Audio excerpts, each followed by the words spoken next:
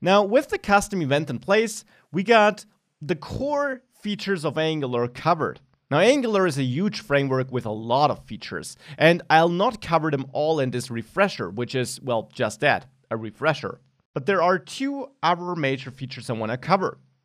Right now, we have two components on the same page here, person input and persons. And this kind of makes sense for our very simple application here.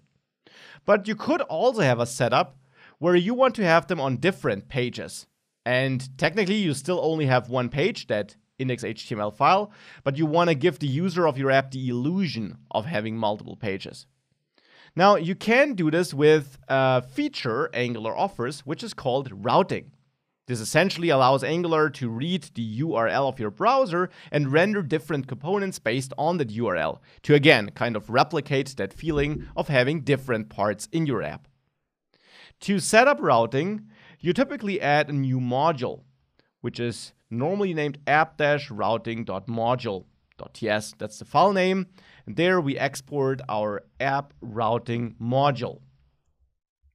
As all Angular modules, you need to add ng module, this decorator here.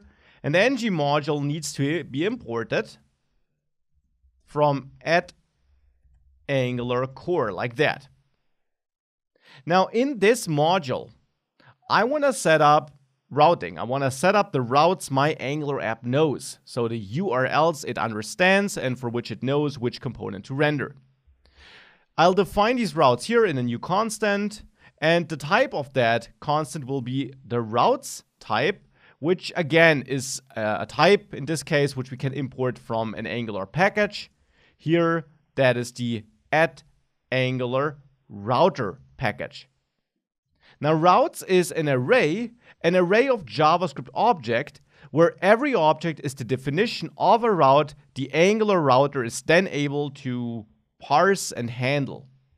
Now, a route definition in its simplest form has a path, which is the path, so the part after your domain you want to load a certain page for. And you start this path you define here without a leading slash. So if you want to define something for your root page, your main page, like here, localhost 1200 slash nothing, there is like an invisible slash here, then you just have an empty path here. The second part then is the component. That defines which component you want to render. And that could be our persons component there. And if you're referencing it here, you need to import it as well.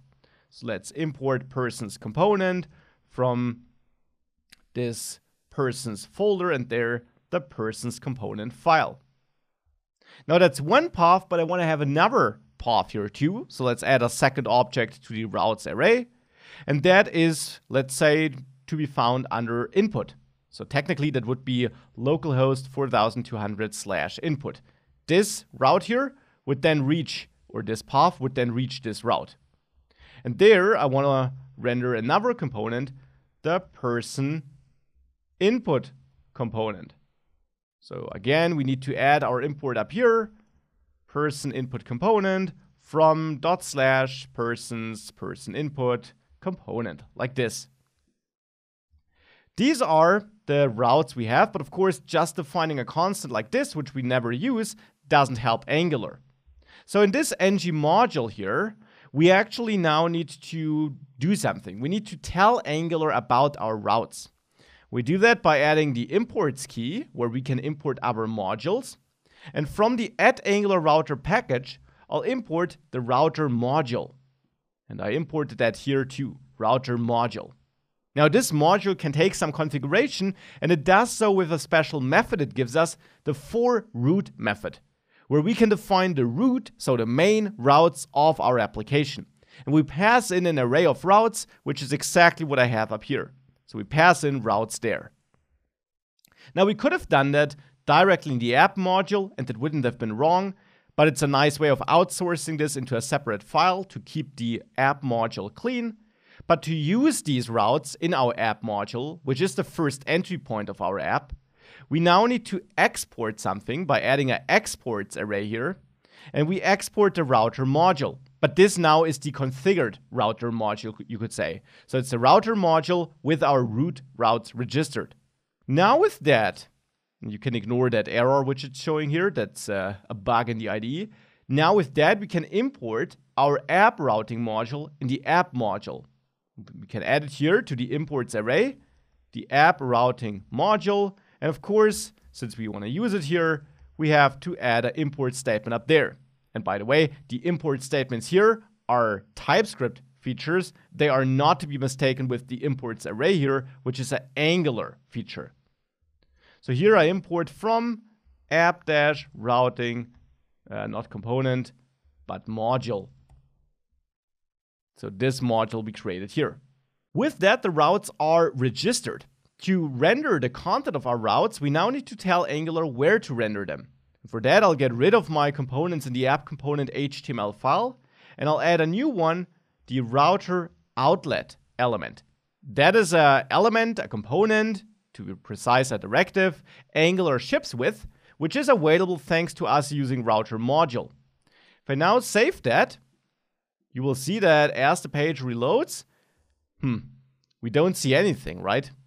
Well, we also have no error, and we actually only don't see anything because our passing data around logic doesn't work anymore. If in the developer tools we have a look at the elements tab, we can see that we do have the router outlet, and next to it, Angular did indeed add the right component, the persons component.